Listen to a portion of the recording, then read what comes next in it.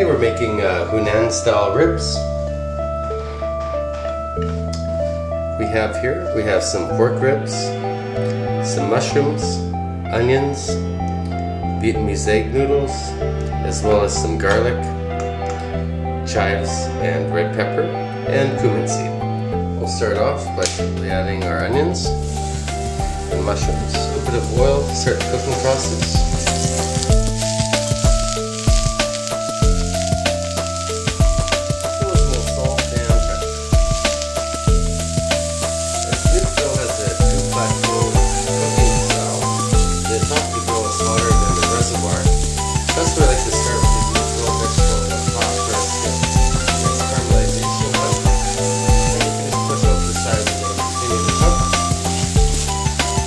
At a lower heat.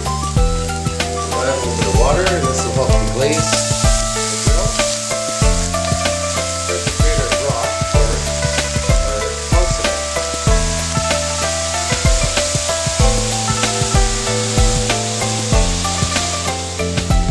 This we add a little bit of soy sauce just to develop some more flavor into the consomme. Next we add our noodles to spread them out evenly so they cook evenly as well. So we're going to add our ribs.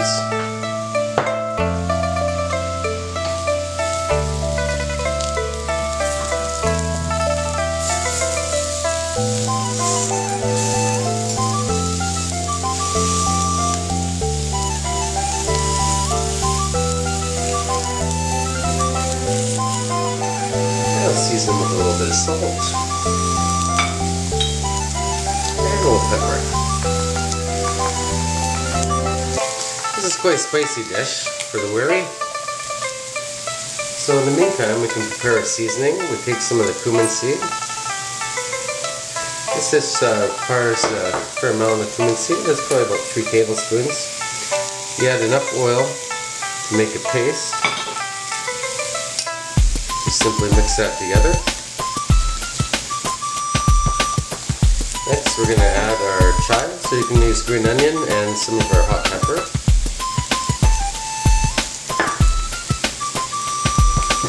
Give that a little stir. We want this to be a nice thick paste. That will add a little bit of garlic.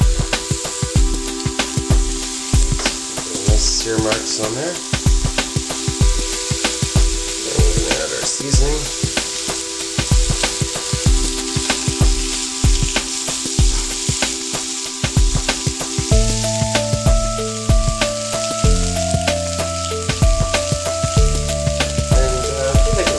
Spices, a little bit of ginger.